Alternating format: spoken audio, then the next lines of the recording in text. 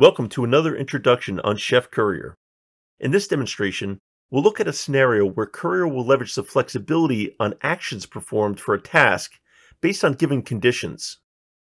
These conditions can either be provided from the node itself or from external sources.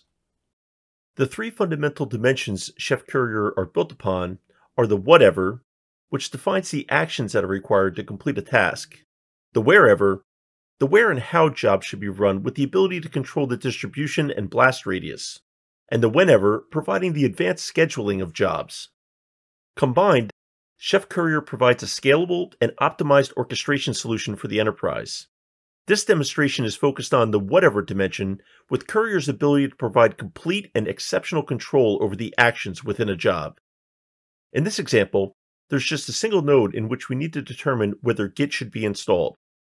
This determination should be provided from the asset management solution, which controls the applications that are allowed or restricted. This interaction will be achieved through a very simple example of an API request. The courier job will simply do the API request to the ITAM system to determine whether or not Git is approved.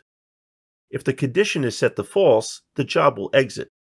But if the condition is set to true, it'll continue with the installation on node 1.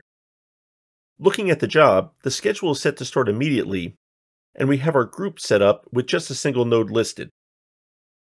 The actions are broken out into a few steps. The first step will do the API request to the following URL to determine the approval for the Git installation. Here we see, by looking at the results returned from the ITAM system, the action to install Git is set to false. So looking at the condition, if it's set to false, we should just exit the job. Looking down a bit further, when the API returns the status value of true, we will run the installation.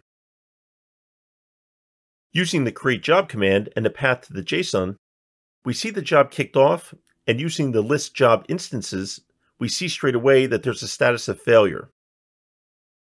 Looking at the details using the run ID, we see the reason was due to the git install status being retrieved as false. After getting the necessary approval, we were granted permission to install Git on node 1 since we now see the status is set to true. So running the same action chaining JSON courier job and looking into the detail of the instance runs, we can see the status is successful. Now running the git version command, we now have version 2.40.1 installed.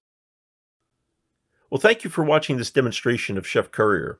And hopefully, it exposed the business value of not only interacting with the nodes that are under management, but its ability to integrate with other solutions that run within your infrastructure today.